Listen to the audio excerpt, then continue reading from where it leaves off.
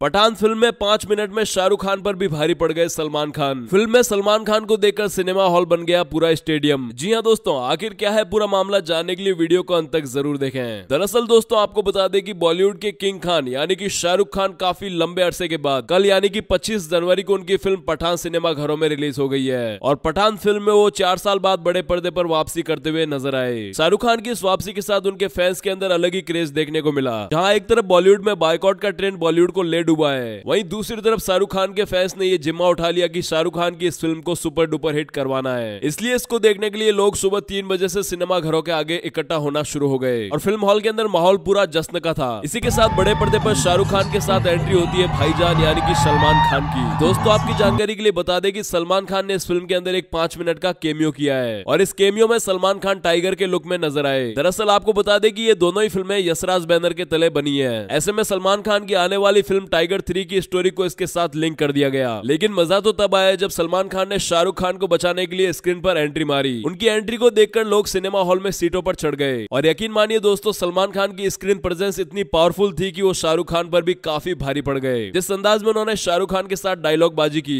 वही जिस अंदाज में उन्होंने फाइट की, इन सारी चीज़ों ने सलमान खान को शाहरुख खान से ज़्यादा माचो बना दिया। वही जिस अंदाज में दोनों की केमिस्ट्री स्क्रीन पर नज़र आई, उसने एक बार फिर से करण अर्जुन की याद दिला दी। और अब जो भी लोग इस फ़िल्म को देख रहे हैं शाहरुख खान से ज़्यादा सलमान खान की तारीफ़ कर रहे हैं। तो एक तरीके से ये कहा जा सकता है कि सलमान खान ने पाँच मिनट में शाहरुख खान से उनकी लाइमलाइट को छीन लिया है। खैर दोस्तों, अगर आप लोगों ने फ़िल्म को देखा है तो आपका इस बारे में क्या कहना है? कॉमेंट बॉक्स अपनी राय ज़रूर लिखें।